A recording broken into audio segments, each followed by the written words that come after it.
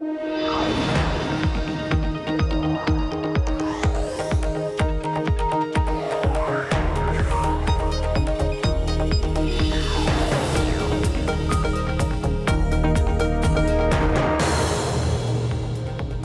Emily Chang, live from Los Angeles. This is Bloomberg Technology. Coming up, IBM takes a tumble, its stock price plunging despite strong sales. We look at the company's first quarter results. Plus, Tesla's second time out. The electric car manufacturer stopped production on its Model 3 sedans and sent workers home. But new reports are just out. The company is now changing gears and asking employees for 24 7 shifts. Details ahead. And Apple pushes deeper into news. But can a subscription based news feed be as successful as Apple Music? First to our lead. IBM shares tumbling in after hours trading, the company's first quarter gross margins missing analyst estimates. This coming despite IBM notching another win in its campaign to reverse years of revenue declines as it reported its second straight period of sales growth. First quarter sales rose 5.1% to $19.1 billion, beating analyst estimates. IBM's new strategic imperatives unit saw a 15% rise in revenue from the year before, this including the company's cloud and analytics and mobile focused businesses. For more, I want to bring in Bloomberg Intelligence's Anurag Rana in New York. So, Anurag, walk us through the main weaknesses here. The biggest issue is gross margins. This has been an issue for some time. Uh, we've, wrote, we've written about it that uh, even in this year we should see slight decline in gross margins, although the pace of decline is not going to be as bad as last year. Um, that remains the number one concern at this point, um, which is which we believe is driving down the stock. And does that outweigh the bright spots, security, cloud, analytics? Well, if you were to take currency off, um, they grew revenues flat, so that's year over year. So that's similar to what's been happening for the last uh, one one and a half years. So I won't, you know, get too excited about the push because of currency. Uh, but when it comes to the gross margin, that's your profitability of the, the products that you're selling. You know, they have. Um, you know, issues going in, more investments in cloud.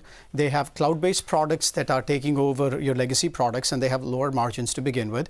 And then uh, they have pricing pressure on legacy IT services contracts. So if a contract comes for renewal, you're seeing some pricing pressure on it, and all those three factors are having an impact on gross margins.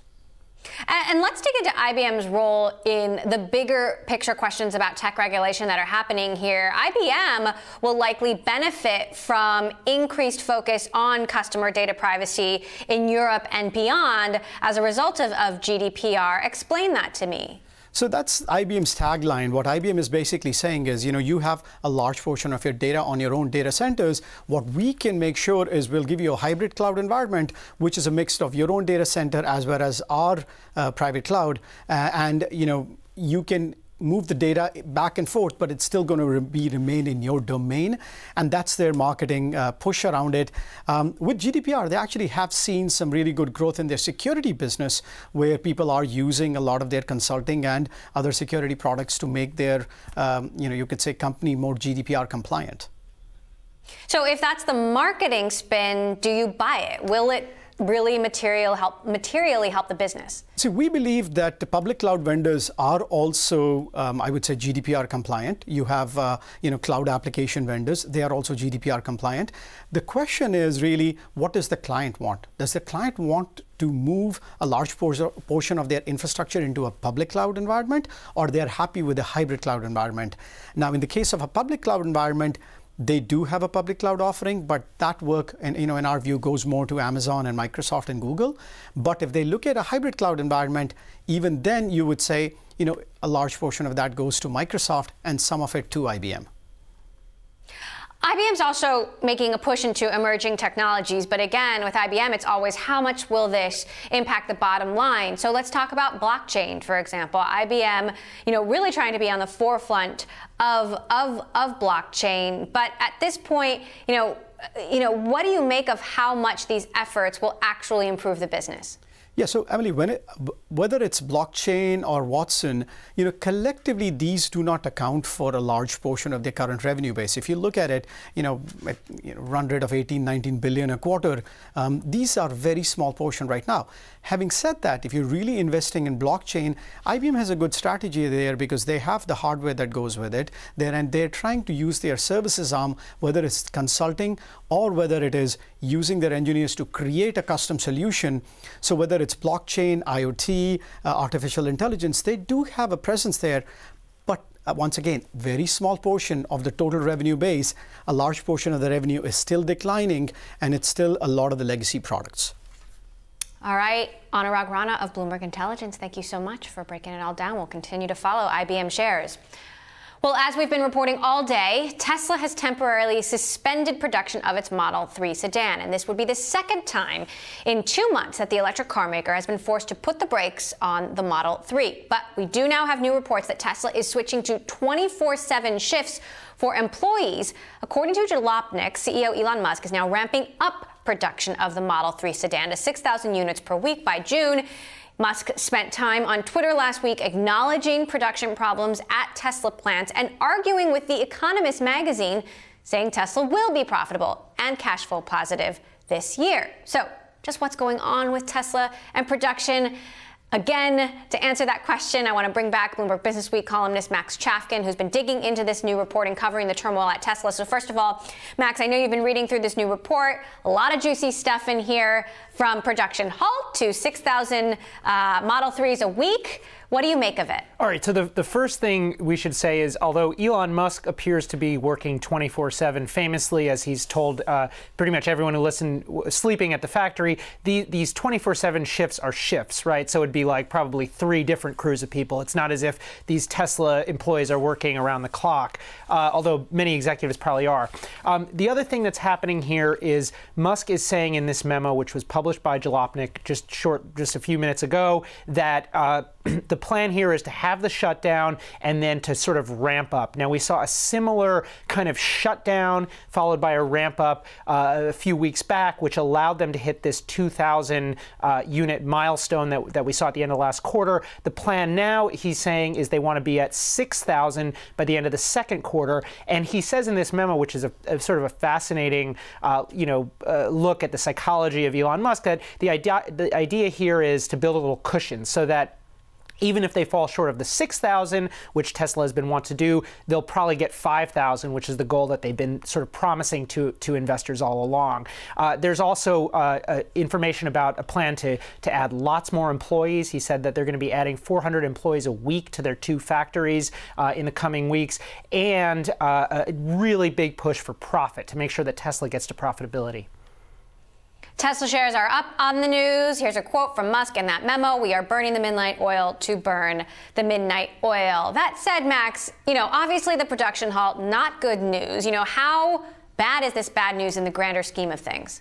So it's it's really hard to know, and I, really caution people into into reading into the tea leaves too much because the thing is that that production halts, as Tesla has said, are sort of something that happens. Now, now the thing is, when you something that happens not just at Tesla but at, at lots of companies, you have to you know reset the line or make sure the tooling's right, or there, there, there are reasons to stop production that are are are are, are not bad. That said, there have been lots of these sort of unexpected things, and that would cause somebody who's kind of a Tesla skeptic, and there are lots of those out there, to see this as just yet another sign that this company is in over its head. That said, if the numbers keep moving in the right direction, I think investors are going to be happy, and you know, Elon Musk will look like a genius. What do you make of Elon's comments last week on CBS that he overdid it on automation. So that yeah, that's a huge uh, shift because one of the key things that Tesla had been talking about as a you know differentiator is that this was going to be the most automated car factory uh, in the world. That was going to allow them to hit these crazy uh, ambitious production numbers. The problem, as we've been learning with automation, is that it's harder to plug people in. And what it seems like is happening in the factory when you when you sort of start putting pulling different um, sort of little tidbits that are that are filtering out of there is is Tesla is moving much more towards a traditional sort of human focused manufacturing process, which is why they're adding all of these employees, which is why they're adding shifts, um, and and which is why they have to focus on profit because they spent all of this money on these machines, which is supposed to save money in the long run, but now you have to add employees on top of that, so that's going to create a lot of uh, cost pressure on, on, on, a company that already you know doesn't have uh, you know is already losing money. So shares are up, but at what point might customers start asking for their deposits back?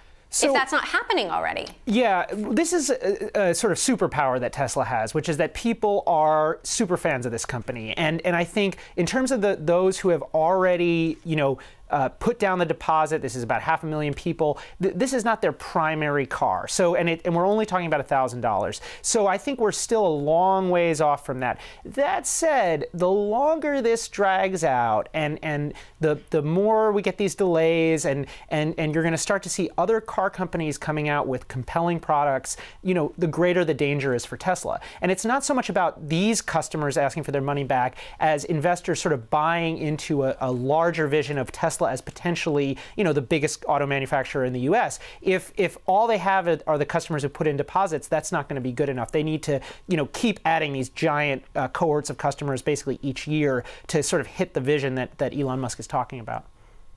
Now, I do want to acknowledge the tweeting. Elon Musk continuing his sort of adversarial relationship with the media. This tweet to The Economist The Economist used to be boring but smart with a wicked dry wit. Now it's just boring. Sigh. You know, another tweet talking about how ideas pop into his head. Um, a follower asked, you know, what were you thinking when you came up with such and such? And he said, too wasted to remember. You know, at what point do investors start getting distracted by the state of mind here. Okay, so he has always been a pugnacious sort, and I think that is part of the uh, that's part of the appeal. That that's part of what uh, people like about him. It, it, in terms of the the tweeting and, and things like that, I think that the, the sort of probably greater area of concern would be all these sort of side projects. Uh, in addition to Tesla and SpaceX, you know, there is an AI thing. There's a, the tunnel thing. Uh, it, this is a guy. He's apparently you know hiring humorists for, from The Onion, uh, uh, and, and, so it's I think it's more about sort of distraction in terms of in terms of possible danger to Tesla rather than Elon Musk tweeting intemperate things. I think um, many of his admirers, you know, enjoy the intemperate uh, comments, and certainly for us in the press, uh, it gives us something to talk about. So, so I don't think it's definitely an area of, of risk. Some of those tweets do take time, though, uh, I have to say. Bloomberg Business Week columnist Max Chafkin, thank you as always for keeping us up to date. Now, to a stock we are watching, Netflix continues to surge on its impressive first quarter earnings report out Monday. The streaming company adding 7.4 million users in the period, according to a statement, easily topping analyst projections. The results, including higher earnings and an upbeat forecast, were welcome news to investors. Netflix rose as much as 9.8% to an all time high on Tuesday. The stock was up 60% this year at Monday's close. Coming up, Microsoft's president Brad Smith joins us. Why 34 major tech companies, including Microsoft, Facebook, and Dell, are joining forces to fight cyber attacks. And if you like Bloomberg News, check us out on the radio. Listen on the Bloomberg Radio app, Bloomberg.com, and in the U.S. on SiriusXM. This is Bloomberg.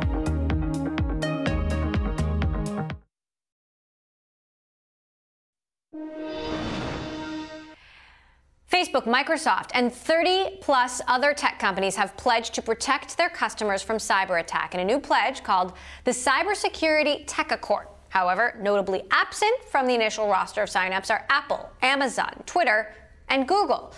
On Monday, US and UK officials issued a joint warning about years of cyber attacks stemming from Russia aimed at both businesses and utilities, and in some cases, individuals. The warning was only the latest in a series of Russian threats to elections and electoral systems. Joining us now to discuss Brad Smith, Microsoft's president and chief legal officer. Brad, first of all, you know, part of this pledge, you're saying you won't help governments protect or perpetrate cyber attacks. You know, talk to us about why there is a need for such an accord.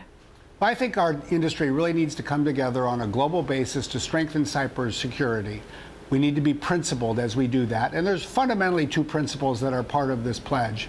The first is that we will step up our work to protect every customer everywhere from uh, these cyber attacks. And the second is that we won't help governments launch cyber attacks against innocent citizens or enterprises. And we'll use those as two North Stars, and there are a number of concrete steps we can and will take to make those effective. So, our governments asking you for help for them Absolutely. to perpetrate cyber attacks? Oh, the, the, first of all, we get most importantly requests from governments every day to help defend against customers, and we are doing more in that space. Um, in the world today, uh, I think if your principles are unclear, you do run the risk that you'll be asked by governments to do things that you're going to look back at in hindsight and regret having done. And we've seen that over the last 15 or 20 years. Uh, and I think by being clear about what we will and will not do, we in effect give governments guidance so they don't have to ask us. They know where we stand. So you've referred to this as the Digital Geneva Convention, yet Apple, Amazon, Twitter, Google, they're not signed up. Why not? Well, I think we're going to see more companies sign up in the coming weeks and months. Uh, a lot of people have been very focused on a wide variety of privacy and security issues recently.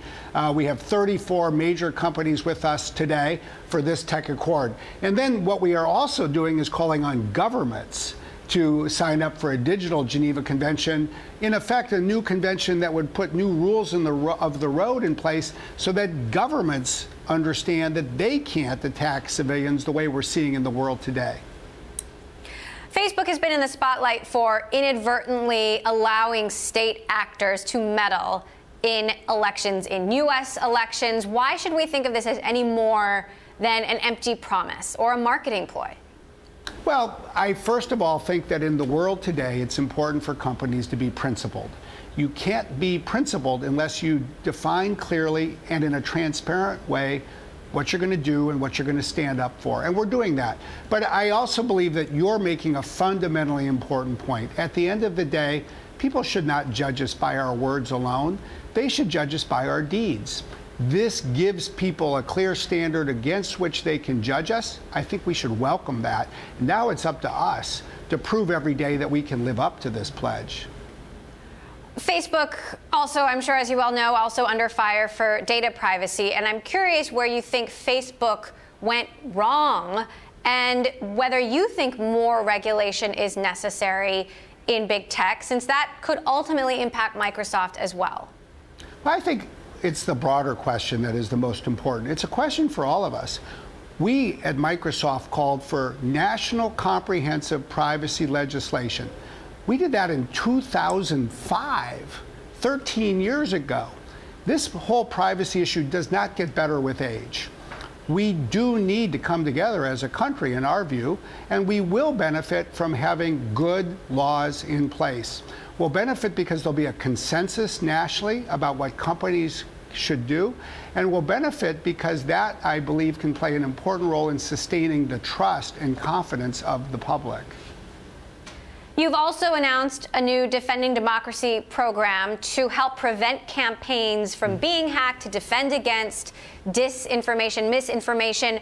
Can you give us some specifics about how you intend to do that? Are you working with particular campaigns or particular states, or working to secure voting machines, for example, ahead of the midterm elections?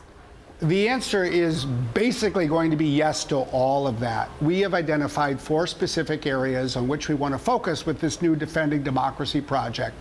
Uh, the first is protecting candidates and campaigns from hacking. Uh, the second is protecting voters and voting from tampering or hacking.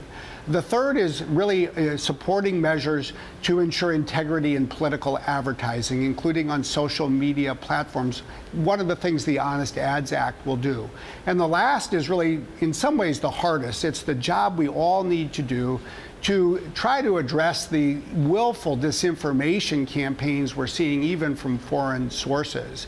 And so, in some of these areas, we have fast steps that we can take right away. In other areas, I think we have a lot of hard work ahead of us, but we need to get started. So, also, last quick question. You're announcing a new uh, micro device product a teeny tiny little IoT product that is secured end to end, could be in anything from toys to remote controls, works with AWS, works with Google Cloud. What are the dangers here that you're trying to protect against? Well, this, I believe, is a fundamentally important problem for the country and the world because this year there will be shipped in the world 9 billion of these small chips that increasingly are going into toys, refrigerators, thermostats, certainly in cars and the like, and they're all going to be connected. And if they're connected without being protected, then we have a much bigger cybersecurity problem than we do today. What we launched yesterday here in San Francisco is a new offering. We call it Azure Sphere. And with a new and more powerful and more secure hardware chip, and a new, more secure operating system, and a new security cloud service, we really, for the okay. first time, have a holistic solution. Microsoft President Brad Smith in San Francisco. Brad, as always, thanks so much for stopping by. Coming up, will the Defense Department change its winner take all strategy in the competition for the Pentagon's cloud? We'll talk about that next. This is Bloomberg.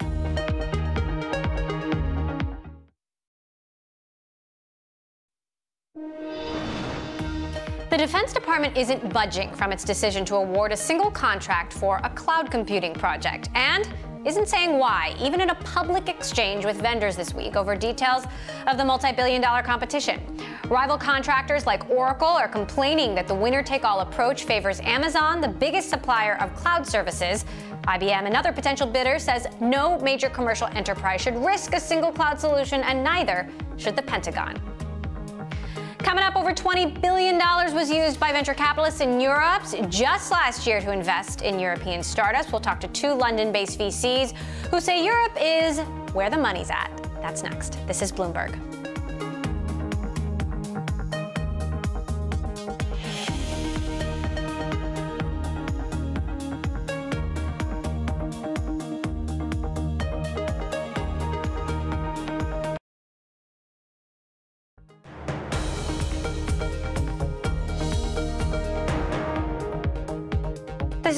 Technology. I'm Emily Chang from Los Angeles. Back to our top story Tesla's continuing manufacturing woes. Tesla is shifting into overdrive to try and resolve its Model 3 production problems. After earlier reports that the electric car manufacturer was temporarily halting production on the sedan, we are now hearing that will begin around the clock production at its Fremont, California auto plant. In addition to this, Tesla is getting a boost from China. Beijing plans to remove foreign ownership limits for auto ventures within China in the next four years. Right now, overseas companies can own no more than 50% of a joint venture with a Chinese partner. Musk had been trying for more than a year to open an assembly plant in China, but failed to agree on the ownership structure with Shanghai's government. Now, it seems every week there is a new announcement of money being raised for European startup investing. After a record year in 2017 and more than $20 billion put to work by VCs in the region, firms are raising new funds in 2018 to make the most of increased investment opportunities and institutional interest. I want to bring in Caroline Hyde, who's got two venture capitalists who've announced new funds this week alone. Caroline, take it away. Emily, yes, thank you very much indeed. I'm now joined by not one but two VC funds. I'm pleased to introduce Håkon Overli. He is coming from Dawn Capital, general partner over there, and the CEO of Octopus Ventures it is Elliot Cole. Gentlemen, both this week you have announced new funds, and I want to start with Dawn Capital. $235 million is what you've been raising, and more than you aimed for. Where is the more, where's the interest coming in terms of money flows into your fund? So I think um, we're seeing a real shift in US uh, interest. A lot of it, we've been very lucky. We've got um, huge support from our existing investors. 80% came back. One of them is EIF, one of them is BBB. Uh, but really, the extra, the extra demand is coming from US investors who are now seeing Europe as a very attractive place to invest in venture. They've, the really sophisticated investors have seen, uh, they've been doing this for decades now, and they've typically been in the big funds like Sequoia or whatever, and they've seen how successful that's been, and then they've invested as the wave has gone from west to east, Chicago, New York, and now they're seeing the next land of opportunities as Europe. Europe, the land of opportunities, Elliot. And, and, of course, fundraising continues at Octopus Ventures, 284 million more that's just been announced. you say that this now sets you up to be able to continue when it comes to seed vent- uh, and, and, new ventures. What about the size of checks? Are they getting bigger? Are the valuations getting bigger when you're putting the money to work in the, in the opportunities that you see? So we've seen a, a growing trend of um, really talented entrepreneurs coming to us with um, fantastic ideas, with a growing gla- global ambition. Um, and we're seeing no shortage of those entrepreneurs come to us, particularly at the seed and Series A level. There has been an increase in funding size over the last 10 years. The Series A used to be about £2 million, and yeah. it's not uncommon to see a seed round at this level. Um, but in terms of valuations, I suspect they're stabilising a little bit more um, in recent months. At Dawn Capital, you focus particularly on software as a service, SaaS, and fintech. Yeah. Where are we seeing the hubs develop in Europe for these particular types of business? Are they growing anywhere nowadays, or is still London the fintech hub? Are we seeing? No, I think talented entrepreneurs kind of are born everywhere. Mm. One of the sort of Silicon Valley myths is that actually most of the entrepreneurs they are not born there; they're exported or imported from elsewhere. So you see talented entrepreneurs uh, across Europe. I think UK is still an important hub, both for software and fintech. Despite Brexit. Yeah, I, I think uh, yeah, it has had no impact yet because this is where the money is, this is where the expertise is um, the ecosystem is super important to be able to hire talented people at all levels, and the UK is, is unparalleled for that. You see, you know, London, I think, you know, attracted more than $3 billion investment last year, and the UK was just short of $5 billion. And whilst that, I think, puts London head and shoulders above the rest of Europe, we're, you know, within our own portfolio, we've backed entrepreneurs who set up in you know, Lis- Lisbon and um, Stockholm and then uh, Central and Eastern Europe as well. So, you know, Håkon's absolutely right that the most talented entrepreneurs are seeing the success from their peer group across Europe and, and, and starting out wherever they might be. And what about the industry groups that you're looking, the, the vertical yeah. within technology that you're looking at? Because you've you back companies such as SwiftKey that was bought by Microsoft. That's in, AI. We're looking at Magic Pony, yeah. which is video uh, area of growth. What what verticals are you particularly keen on? So we always start with the people, and we're quite happy, you know, being bold and taking a risk on an entrepreneur. But having said that, we're seeing a concentration around retail and you know, businesses like Chronext uh, coming from a kind of consumer uh, perspective. Uh, we also have um, B2B plays, which are helping retailers sell more effectively. Um, and likewise, digital health has been a, a big focus for us in, in, the last two years. We've backed three or four businesses, including um, Big Health and Medisafe, which are you know, going on to big things at the moment. Håkon, I want to talk to you about an area of focus for you, which is diversity. It's something you've written on in the British press. How are you ensuring that as these companies that you back scale, they scale with the ethics that you want to see, with the diversity that you want to see?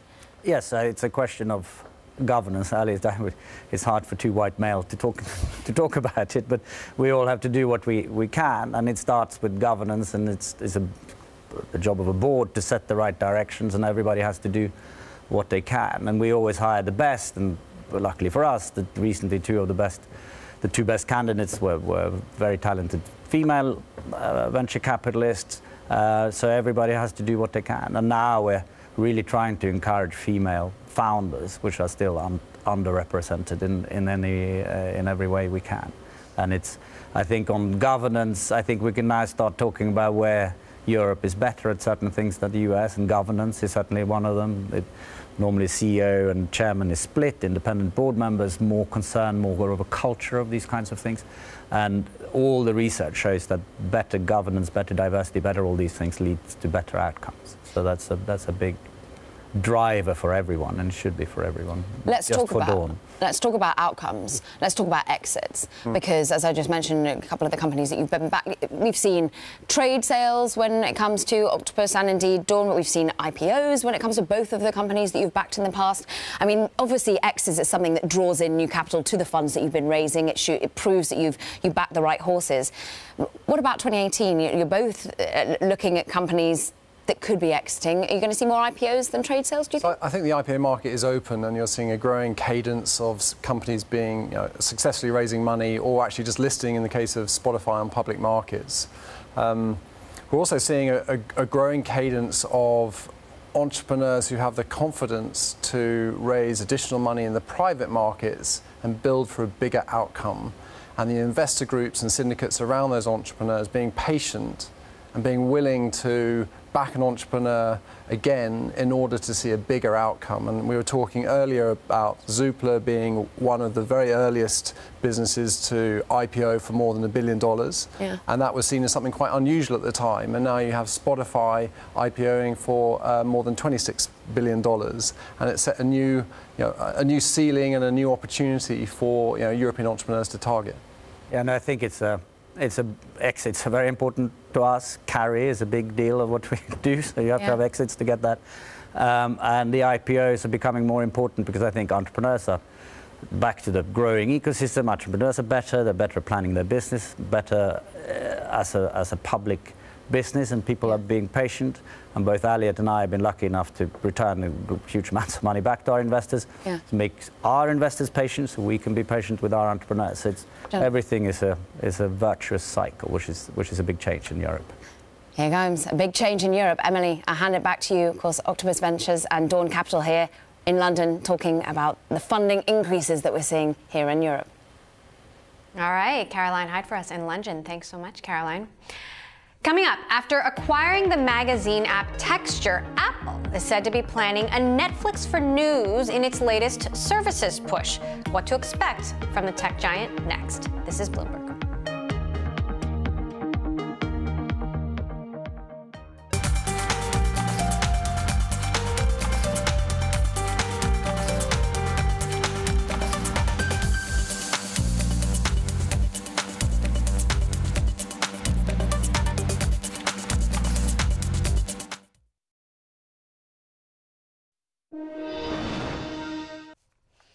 Walmart is rolling out a revamped website next month. The world's largest retailer wants to lure customers away from Amazon with a more personalized shopping experience.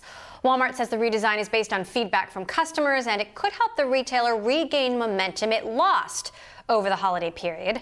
Walmart bought Jet.com back in 2016, but traffic on that online shopping site has lagged as Walmart focuses more on its own website. Now, Apple plans to integrate its recently acquired magazine app Texture into Apple News and debut its own premium subscription offering. People familiar with the matter say the iPhone maker wants to generate more revenue from online content and services. Apple agreed to buy Texture last month. The app allows users to subscribe to more than 200 magazines at $9.99 a month. An upgraded Apple News app with a subscription offering is expected to launch next year. Joining us now, Bloomberg Tech's Mark Gurman, who covers all things Apple for us. So, Mark, first of all, we've seen the challenges Facebook has been facing, you know, being involved in the news feed, being the provider of the news feed. Why does Apple want to get into this now? Yeah, so news is a very important part. They want to be in every form of media. They have music, they have movies, they have books, they have TV shows, uh, they have you know Apple Music now, iCloud. It's just another thing that they think people will subscribe to, and so they're really going to bolster the Apple News app. First came out in 2015. What you can do now is you can subscribe to some individual publications. I know People Magazine is on there for $2.99 a month. You can get other publications, maybe uh, like um, and some some newspapers for a different price. Now, what Apple wants to do is pull it all together. You can pay one monthly fee, like you might for Netflix, Apple Music, or Spotify, and get access to a whole bunch of different newspapers and magazines. So, is this something that people are going to actually want and pay for? You know, it's a good question. I think it comes down to how much people are willing to pay. If you look at it, some publications have paywalls right now, and some people might be paying 15, 20 bucks, 10 bucks a month for it. Imagine being told that you can pay 5 bucks or 10 bucks and get access to all of them for one fee, just like you can pay $10 a month for Spotify or Apple Music and get access to the entire, you know, online digital music catalog. That could be compelling for some people, but also not worth it for others. And what about the publishers? Is it worth it for them? I mean, we've heard so much about publishers' adversarial relationship with Facebook and how they're really at Facebook's beck and call. Is this something that publishers will really jump on board? You know, Apple actually has had a pretty easy time getting publishers on board in terms of these types of services. Where Apple has struggled is with the video based content makers, so movies and TV shows, being able to create a service that integrates all of that, taking stuff away from the, uh, the video content makers, the TV networks, the Comcasts, the Time Warners of the world. But publishing is an area, as well as music, where they've actually had, uh, I don't know if it's easy because we don't know the behind the scenes work here, but at least from a public facing perspective, they've been able to pull it off. And I think it's a no brainer to believe they'll be able to get it right again. Now, ideally, this is all about adding to Apple's bottom line. We saw, you know, a slow start with Apple Music, but it has become a bigger slice of the pie. You know, ultimately, how much do you think this could add to Apple's business, knowing a lot remains to be seen? Yeah, I don't think it's going to add much in particular this news thing, but another way you have to look about look at it, think about it, is are they taking eyeballs away from other companies? Is Amazon going to work on an app like this? Like you said, Facebook has its news uh, integration in its news feed. Google has Google News, right? So there's a cost to not doing something as well, and I think that factors into a lot of the decisions that are being made by these tech companies lately. All right, Bloomberg Tech's Mark Gurman. Thanks so much, as always. Coming up, planting the seed. We talk with the founder of an early stage venture capital firm why she thinks we do need another VC firm, and that is next. This is Bloomberg.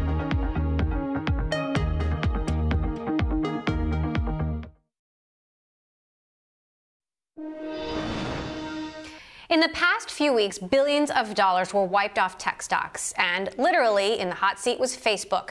Shares of the social media giant have been mostly in the red since news broke that a political consulting firm working with the Trump campaign mishandled data on tens of millions of users. And now new questions are being asked about data privacy with regulation looming.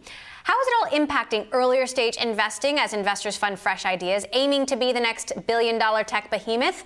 To answer that, I'd like to bring in Trae Vassallo, managing partner and co founder of Defy, an early stage venture capital firm that closed their debut fund with $151 million in funding in 2017. Trae, thank you so much for joining us. So I'm sure you've been following the Facebook news, the market volatility. I know the answer is often that early stage venture capitalists don't think about these things things. But with tech regulation looming, with bigger questions being asked about tech ethics, is that impacting any of the decisions you're making on the front lines?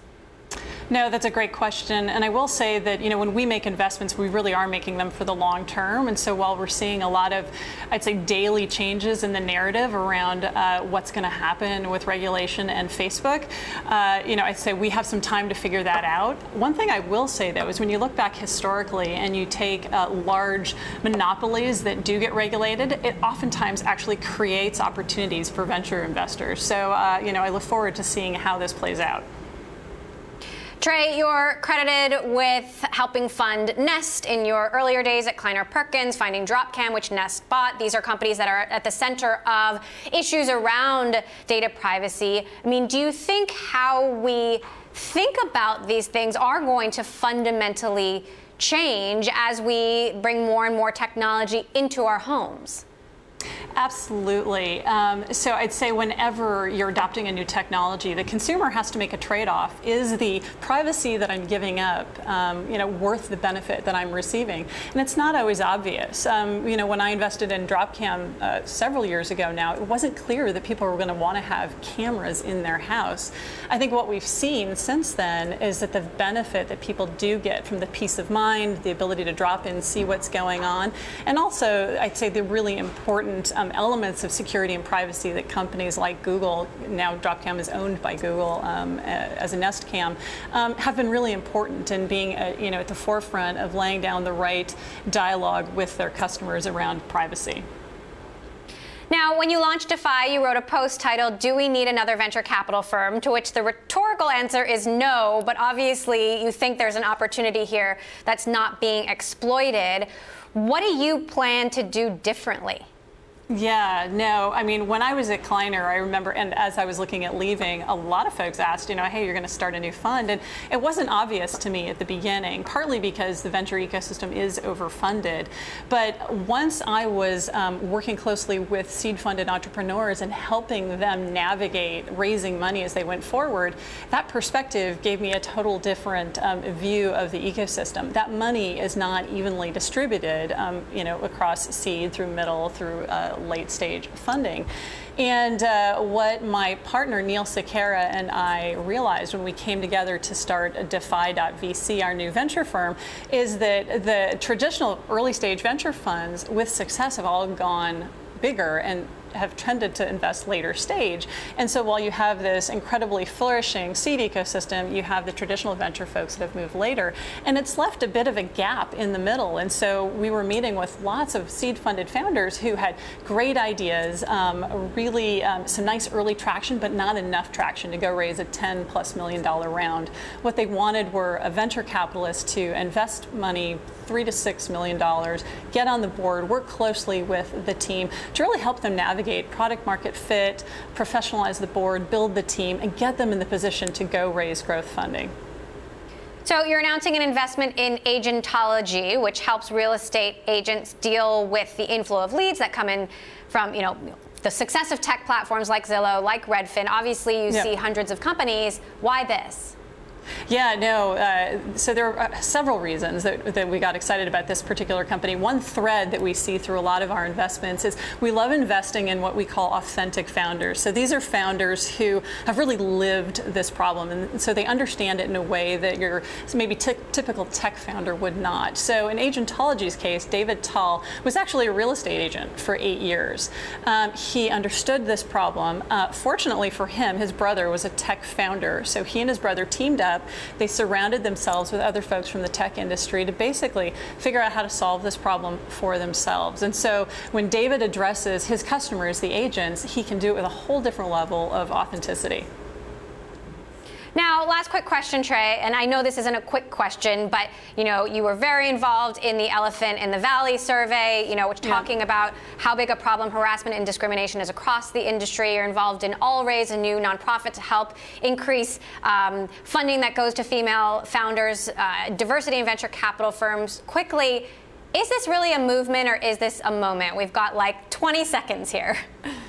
you know, it's a building movement. It started a long time ago, and I think right now we're starting to see critical mass. We now have a number of women who are in positions of power in their firms, who are writing checks, who are starting new firms, and it's really starting to make a difference.